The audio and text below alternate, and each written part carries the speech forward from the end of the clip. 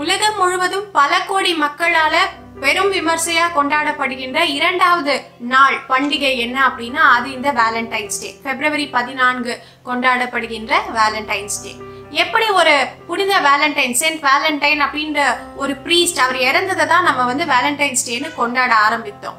அவர் பிப்ரவரி பதினாலு இறந்து போனாரு இரண்டாம் மூன்றாம் நூற்றாண்டுல. அதை தான் பிற்காலத்துல நம்ம வந்து வேலண்டைன்ஸ் டே அப்படின்னு கொண்டாட ஆரம்பித்தோம்.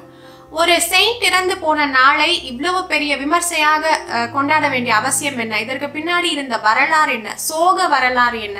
அதுவும் தவிர்த்து இதற்கு பின்னாடி இயங்கிக் கொண்டிருக்கும் வணிகம் என்ன? அப்படின்றத பத்தி தான் இன்னைக்கு நம்ம சுருக்கமாக பார்க்க போகிறோம்.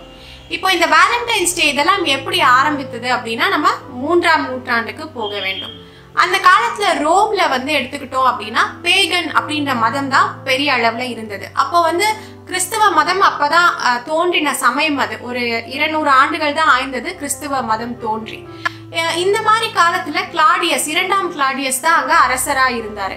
இவருக்கு வந்து என்ன அப்படி ஒரு மனசுல என்ன அப்படின்னா நம்மளோட நாடு நம்மளோட இந்த ரோம் மற்றும் நம்மளோட படை வந்து மற்ற நாடு மேலெல்லாம் படையெடுத்து இன்னும் பெரிய ஒரு வல்லரசு நாடாக நம்ம மாற வேண்டும் பெரிய நாடாக நம்ம மாற வேண்டும் அப்படின்ற ஒரு பேராசை இருந்தது. இந்த கிளாடியஸ் அதனால என்ன பண்ணாரு அப்படின்னா கொஞ்சம் அசாதாரணமான ரூல்லாம் போட்டாரு. என்ன அப்படின்னா என்னோட நாட்டில் என்னோட படையில இருக்கிற யாரும் வந்து கல்யாணம் பண்ணி கொள்ளக்கூடாது ஆண்கள் யாரும் வந்து கல்யாணம் பண்ணி கொள்ளக்கூடாது அதே மாதிரி காதல் இந்த மாதிரி யார் மேலேயும் நேசம் இந்த மாதிரியும் இருக்கக்கூடாது. ஏன்னா இதெல்லாம் வந்து அவர்களோட கவன சிதறலுக்கு காரணமாகும். அவர்களால நாட்டுக்காக போராட முடியாது சண்டை போட முடியாது. அதனால யாரும் கல்யாணம் பண்ணி கொள்ளக்கூடாது காதல் நேசம் இதெல்லாம் இருக்கக்கூடாது அப்படின்னு வந்து ஒரு ரூல் போட்டாரு. இந்த மாதிரி நேரத்துல தான் சென்ட் வேலண்டைன் அப்படின்ற அந்த ப்ரீஸ்ட் என்ன பண்ணாரு அப்படின்னா அவர் அந்த நேரத்துல அந்த ஒரு மத போதகரா இருந்தாரு. அங்க எல்லாருக்கும் கிறிஸ்துவ மதத்தை பற்றி சொல்லிக்கொண்டு அந்த மாதிரி மத போதகரா இருந்த சமயம் அது.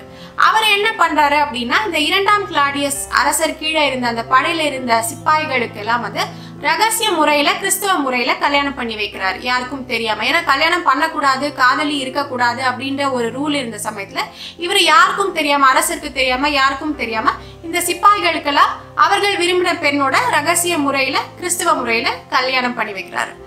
இதை கேள்விப்பட்ட அந்த அரசர் கிளாடியஸ்க்கு வந்து ஒரே கோவம் நான் இப்படி ஒரு ரூல் போட்டிருக்கேன். என்னோட சிப்பாய்களுக்கெல்லாம் கவன சிதறல் இருக்கக்கூடாது. நாட்டை பற்றி தான் யோசிக்கணும்னு சொல்லிட்டு இருக்கேன் இந்த மாதிரி ஒரு வேலையை பண்ணியிருக்காரு அப்படின்னு அவருக்கு கோவம் இன்னொன்னு கிறிஸ்தவ மதத்தை பரப்புறாரு அப்படின்ற ஒரு கோபமும் கூட. ஏன்னா அந்த காலத்துல பேகன் மதம் தான் பெருசா இருந்தது. அவர்களோட மதம் பேகனா தான் இருந்தது. கிறிஸ்தவ மதம் கிடையாது.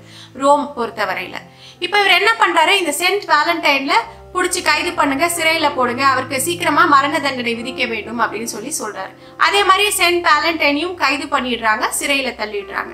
சிறையில இருக்கும் பொழுதும் அவர் அங்க இருக்கிறவர்கள்கிட்டயும் ரொம்ப பாசமா நேசமா இந்த மாதிரி இருந்த சமயத்துல அங்க இருந்த ஒரு ஜெயில் அதிகாரி ஜெயிலர்னு சொல்லுவாங்க இல்லையா அந்த சிறை அதிகாரியோட பெண் மீதும் இவருக்கு ஒரு ஆசை வருகிறது ஒரு பாசம் வருகிறது. இப்படி இருக்கும் பொழுது சென்ட் வேலண்டைன் என்ன பண்றாருன்னா அவர் இறக்குறதுக்கு கொஞ்ச நாட்கள் முன்பாங்க ஏன்னா அவர் சாக வேண்டும் அப்படின்னு உத்தரவு போட்டிருக்காங்க இல்லையா ரெண்டாம் கிளாடியஸ் அரசர் வந்து அந்த உத்தரவு போட்டிருக்காரு. அதனால அவரோட மரணம் நெருங்கின நேரத்துல ஒரு கடிதம் எழுதுறாரு. அந்த சிறை அதிகாரியோட மகளான அந்த பெண்ணுக்கு வந்து ஒரு கடிதம் எழுதுறாரு.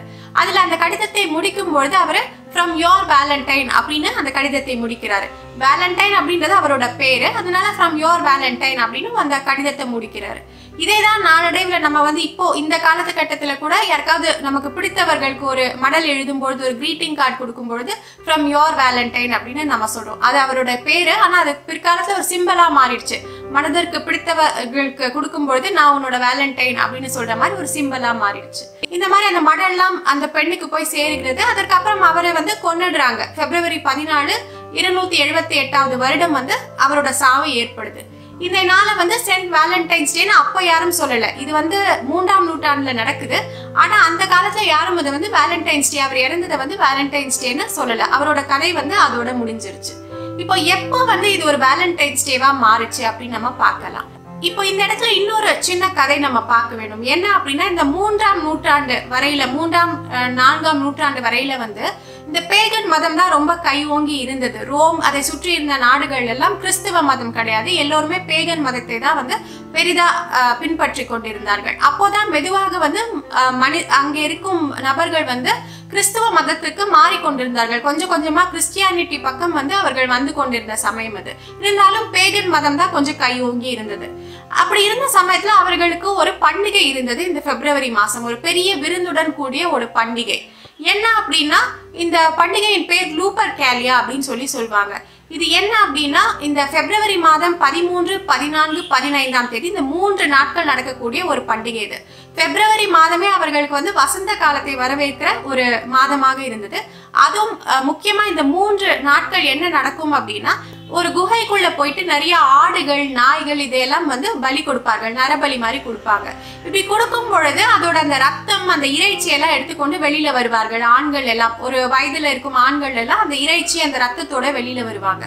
வந்துட்டு அவர்களுக்கு பெண்கள். அங்க வந்து சாலையில பார்த்தா நிறைய பெண்கள் நிறுத்தி வைக்கப்பட்டு இருப்பார்கள் அவர்களுக்கு பிடித்த பெண்கள் மேல இந்த ரத்தத்தை பூசுறது இந்த இறைச்சியை தூக்கி வீசுறது இந்த மாதிரியான வேலைகள் எல்லாம் பண்ணுவாங்க. இது எப்படி அப்படின்னா இந்த மாதிரி பண்ணா அந்த பெண்களுக்கு வந்து குழந்தை பேரு சிறப்பாக இருக்கும். யாருக்கும் எந்த பிரச்சனையும் இருக்காது. அந்த பொண்ணு வந்து ரொம்ப ஃபர்டைலா இருப்பா அப்படின்ற மாதிரி ஒரு நம்பிக்கை.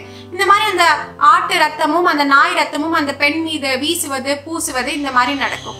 இந்த நேரத்துல என்ன பண்ணுவாங்க அப்படின்னா அவர்களுக்கு பிடித்த பெண்களை வந்து அழைத்து கொண்டு போவார்கள். அந்த பிப்ரவரி மாதம் அந்த பதிமூன்று பதினான்கு பதினைந்து நாட்கள் இருக்கிறது இல்லையா? அந்த மூன்று நாட்கள் அவர்கள் எல்லாம் அந்த பெண்களை அழைத்து கொண்டு போய் அவர்களோட வைத்துக் கொள்வார்கள். அதற்கப்புறம் அந்த பெண்களை பிடித்திருந்ததுன்னா திருமணமும் செய்து கொள்வார்கள். இந்த மாதிரி ஒரு சம்பிரதாயம் அங்க இருந்தது. இந்த பேகன் ஃபெஸ்டிவல் லூப்பர் கேலியா அப்படின்றதுக்கு பின்னாடி இருக்கிற ஒரு சம்பிரதாயம் இதுதான்.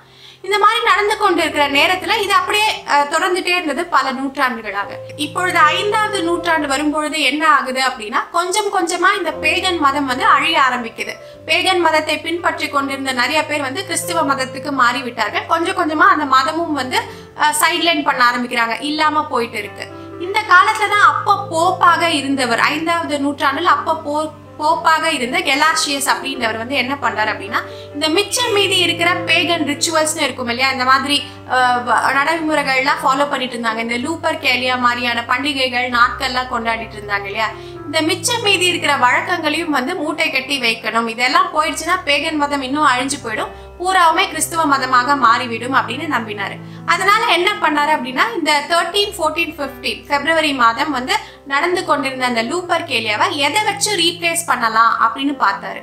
அப்போ வந்துதான் அந்த சென்ட் வேலண்டைனோட இறப்பு நாளான பதினாலு பிப்ரவரி அவருக்கு ஞாபகம் வந்தது. அந்த நாள்ல தானே வந்து காதலுக்காக அவர் வந்து உயிர் துறந்தார்.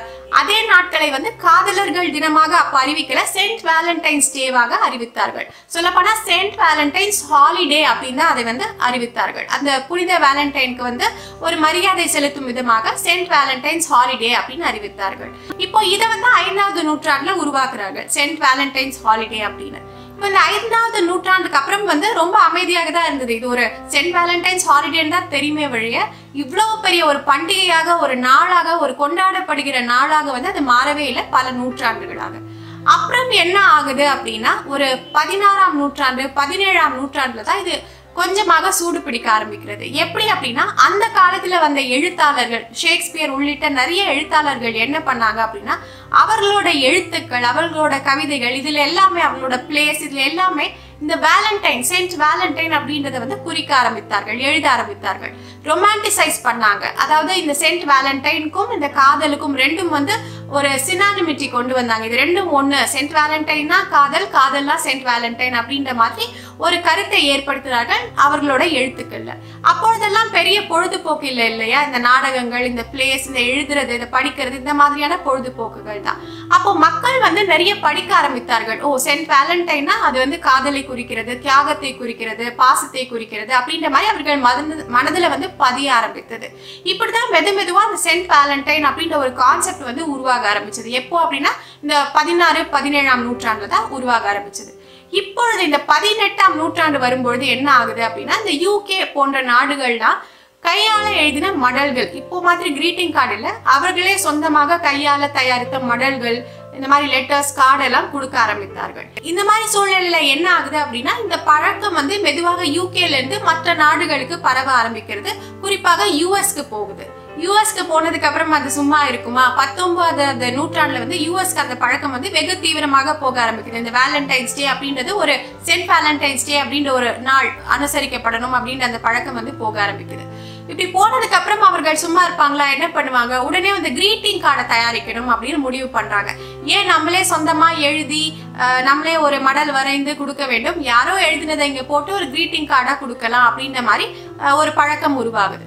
இப்போ வந்து ஆயிரத்தி தொள்ளாயிரத்தி பதிமூன்றாம் வருடம் தான் முதல் முதல்ல ஹால்மார்க் நிறுவனம் வந்து கிரீட்டிங் கார்டுகள் அச்சடிக்க ஆரம்பிக்கிறார்கள். மாஸ் ப்ரொடக்ஷன் பெரிய அளவுல வந்து நிறைய பல்லாயிரக்கணக்கான கார்டுகளை வந்து அடுத்து விற்க ஆரம்பிக்கிறார்கள். இது ஒரு பெரிய ஹிட் ஆயிடுது. இந்த மாதிரி கார்டு வாங்கி அவர்களுக்கு பிடித்தவர்களுக்கு கொடுத்து அந்த மாதிரி அன்பை பரிமாறிக்கொள்ளும் ஒரு நாளாக அது மாறுகிறது அப்போதுதான் இப்போ தான் இந்த கிரீட்டிங் கார்டு கொடுக்கறது சாக்லேட் கொடுக்கறது இந்த மாதிரியான விஷயங்கள்லாம் ஆரம்பிக்குது. எப்போ? ஆயிரத்தி தொள்ளாயிரத்தி பதிமூன்றாம் வருடம். அங்கேருந்து பார்த்தோம்னா இப்போ ஒரு நூறு வருடங்கள் தான் தாண்டி இருக்கும். நம்ம ஒரு நூற்றாண்டு தான் முடிந்திருக்கிறது. ஆனா அதுக்குள்ள சின்ன லெவல்ல கிரீட்டிங் கார்டு கொடுத்துட்டு இருந்த ஒரு பண்டிகை வந்து இன்னைக்கு ஒரு மல்டி மில்லியன் டாலர் பிசினஸ் ஒரு பில்லியன் டாலர்களில் ஈட்டக்கூடிய ஒரு பிசினஸ் ஆயிடுச்சு. கடைசியா நடந்த ஒரு கருத்து கணிப்புப்படி வெறும் அமெரிக்கா போன்ற மேற்கத்திய நாடுகள்ல வளர்ந்த நாடுகள்ல மட்டும் இந்த வேலண்டைன்ஸ் டே அப்படின்றது வந்து இருபது பில்லியன்களை தாண்டிய ஒரு பிசினஸ் அந்த ஒரு நாளை சுற்றி இயங்கி கொண்டிருக்கும் வணிகம் மட்டும் இருபது பில்லியன் டாலர்களையும் தாண்டி போயிடுச்சு. இருபது பில்லியன் டாலர்கள்னா பல லட்சம் கோடிகள் நம்ம இந்திய ரூபாய் மதிப்புல.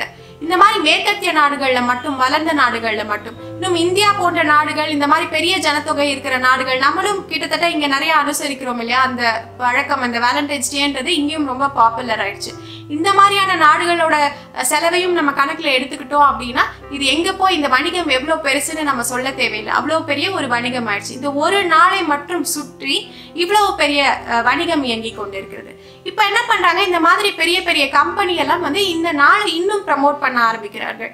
இது வந்து காதலுக்காக ஒரு நாள் அப்படின்றது போயிட்டு இதை நோக்கிய வணிகம் வந்து இன்னும் ஸ்ட்ராங் ஆகுது. இந்த நாட்களை சுத்தி நிறைய காசு பண்ண வேண்டும் அப்படின்னு யோசிக்கிறாங்க. இதனால வந்து என்ன ஆகுது மெதுவா இந்த கிரீட்டிங் கார்டில் ஆரம்பித்தது சாக்லேட்டு அதுக்கப்புறம் நகைகள் புதிய அஹ், புத்த ஆடைகள் அதுக்கப்புறம் இந்த ஹோட்டல் ரிசர்வேஷன் ஒரு ஹோட்டலில் போயிட்டு நம்ம சாப்பிட்றோம் இல்லையா? இப்போ Valentine's day dinner special dinner அப்படின்லாம் சொல்கிறோம் இந்த மாதிரியான விஷயங்கள்லாம் வந்து சூடு பிடிக்க ஆரம்பிக்கிறது. இதை சுற்றி ஒரு வணிகம் இதை சுற்றி ஒரு ஒரு நெட்வொர்க் மாதிரி வேலண்டைன்ஸ் டேனா இவ்வளோ பில்லியன் டாலர் பிஸ்னஸ் இருக்கணும் அப்படின்ற மாதிரி மாற ஆரம்பித்தது இந்த சென்ட் வேலண்டைன்ஸ் ஹாலிடே நீங்க என்ன நினைக்கிறீங்க? இந்த மாதிரி ஐந்தாவது நூற்றாண்டுல சென்ட் வேலண்டைன்ஸ் டேவா கொண்ட ஹாலிடேவா அறிவிக்கப்பட்ட ஒரு நாளை வந்து இவ்வளவு பிரபலமாக்கி இவ்வளவு இதை சுற்றி இவ்வளவு பெரிய வணிகம் பிசினஸ் இவ்வளவு பெரிய ஆர்ப்பாட்டம் இதெல்லாம் தேவைன்னு நினைக்கிறீங்களா? இதை சுத்தி இவ்வளவு பெரிய ஒரு டிராமா தேவையா? இதை சுத்தி அரசியல் தேவையா?